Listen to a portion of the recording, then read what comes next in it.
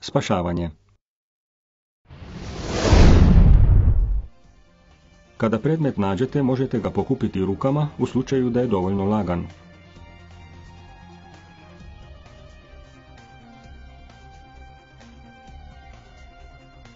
U slučaju da je predmet teži od 5 kg, prvo ga moramo svezati sa oznakom na površini, na primjer bovom, kako ga ne bi ponovo tražili. Sada izronite kako bi mogli napraviti potpun plan dizanja spašavanja. Kod teških predmeta trebate upotrijebiti balone za dizanje. Budite spremni za upotrebu ventila za ispuštanje suvišnog zraka i kontrolu brzine dizanja.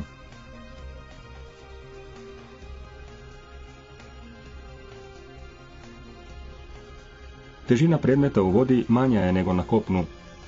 Razliku u masi opisuje Arhimedov zakon. Možemo napraviti brz izračun težine predmeta u vodi tako da oduzmemo težinu vode koju taj predmet istisne od stvarne težine predmeta. Ako ne znamo volumen predmeta, njegovu težinu u vodi možemo izračunati poznavajući njegovu specifičnu težinu. Na primjer, predmet iz željeza specifične težine od 7 kg po litri.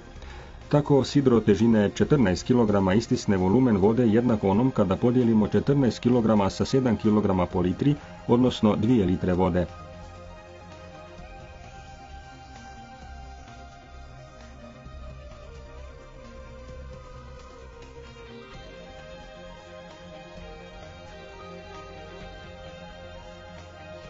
U slanoj vodi sa specifičnom težinom od 1,03 kg po litri istisnina je jednaka 2,06 kg, tako da u vodi sidro teži oko 12 kg.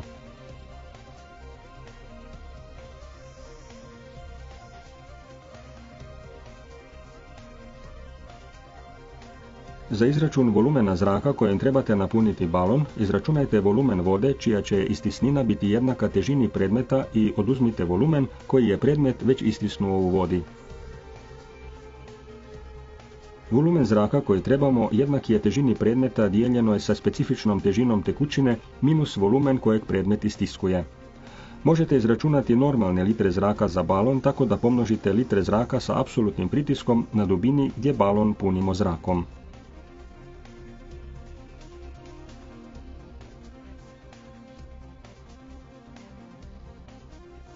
Normalne litre jednake volumenu potrebnog zraka pomnožene sa pritiskom koji je 1 plus dubina u metrima dijeljena sa 10.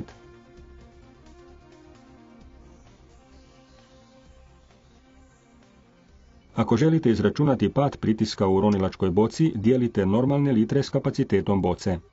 Najzabavniji dio zasigurno je sam uron. Uživajte!